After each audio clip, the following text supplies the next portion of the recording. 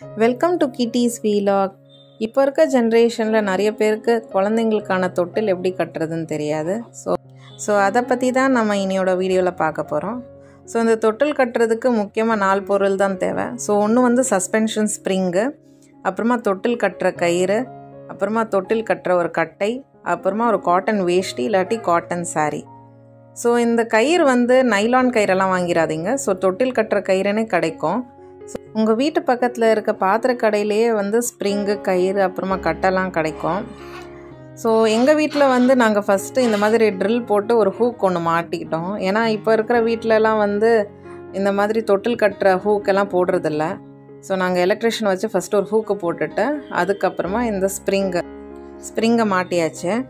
அதுக்கப்புறமா நம்ம வந்து இந்த கயிறை வந்து ஒ- ஒரு எண்டில் ஃபஸ்ட்டு மாட்டிக்கிட்டு இன்னொரு எண்டில் அப்படியே இன்னொரு பெருசாக விட்டுடலாம் ஸோ இன்னொரு எண்டில் வந்து கொஞ்சம் நீளமாகவே விடுங்க. இது சஸ்பென்ஷன் ஸ்ப்ரிங்னால நம்மளால் கொஞ்சம் கீழவும் இழுக்க முடியும். ஸோ நல்லாவே எலாஸ்டிசிட்டி இருக்குது ஸோ நம்ம கட்டையோட ஒரு ஹோலில் வந்து ஒரு ஒரு கயிறை வந்து நம்ம போட்டுடலாம் போட்டுட்டு ஒரு சிம்பிளான நாட் மட்டும் இப்போதைக்கு நீங்கள் போட்டிங்கன்னா போதும். இது வந்து எதுக்குன்னா நம்ம ஒரு ஹைட்டை வந்து நம்ம அட்ஜஸ்ட் பண்ணி வச்சுக்கிறதுக்கு. ஸோ ஹைட் வந்து நம்ம இதுதான் அப்படின்னு ஃபிக்ஸ் பண்ணிட்டோன்னா அந்த லெவலுக்கு நீங்கள் ஒரு குட்டியோண்ட நாட் ஒன்று போட்டுக்கோங்க இப்போதைக்கு. ஸோ கட்டையோட இன்னொரு எண்ட்லேயும் வந்து இந்த கயிறை வந்து உள்ளார விட்டு இன்னொரு குட்டி சிம்பிளான நாட் ஒன்று போட்டுக்கோங்க.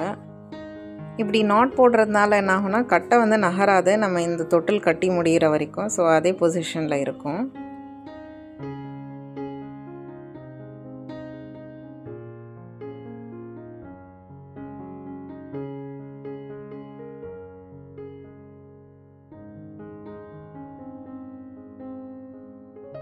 இப்போ நெக்ஸ்ட் ஸ்டெப்பில் வந்து நம்மளோட காட்டன் வேஷ்டியில் வந்து நான் ஃபஸ்ட்டு ப்ளீட்ஸ் போட்டுக்கிறேன்.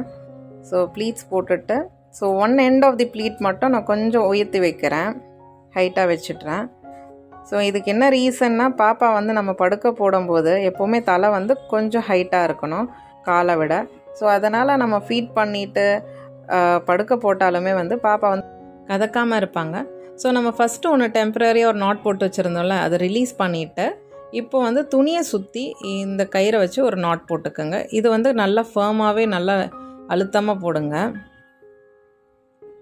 நல்லா டைட்டாக கட்டினதுக்கப்புறமா ஃபஸ்ட்டு நாட் போட்டதுக்கப்புறமா இன்னொரு நாட்டும் போட்டுக்கோங்க. ஃபஸ்ட்டு நாட்டு போட்டாச்சு.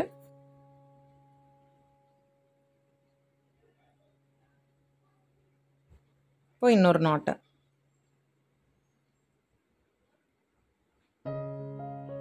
நல்லா டைட்டாக கட்டியாச்சா?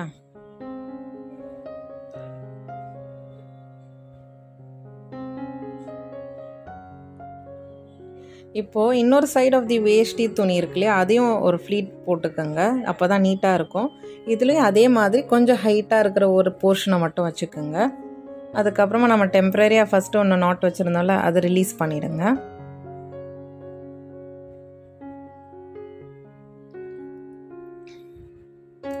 ஹைட்டை செக் பண்ணிக்கோங்க. நாங்கள் வந்து ஒரு டூ ஃபீட் கிரவுண்ட்லேருந்து விட்டுட்டு தான் வந்து தொட்டில் கட்டியிருக்கோம். ஸோ ஹைட்டை செக் பண்ணிவிட்டு கட்டிக்கோங்க. இப்போது இன்னொரு சைடு ஆஃப் தி வேஷ்டி துணியும் இப்போ நம்ம கட்டிடலாம்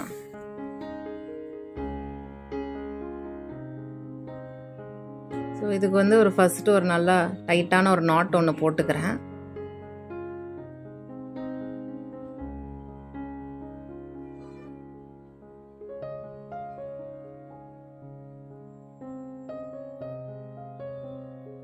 அப்புறமா அதை சுற்றி இன்னொரு நாட்டு.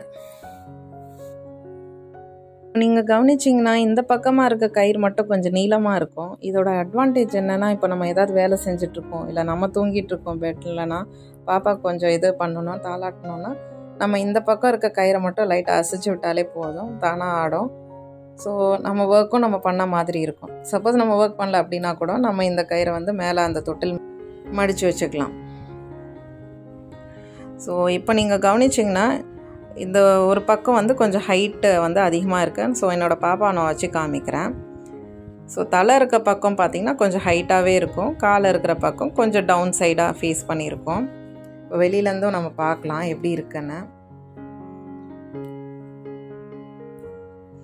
பாப்பா வந்து நல்லா ஜாலியாக என்ஜாய் பண்ணுறா ஸோ வெளியிலேருந்து பார்க்கும்போது உங்களுக்கு நல்லாவே தெரியும். தலை இருக்கிற பக்கம் வந்து கொஞ்சம் ஹைட்டாகவே இருக்குது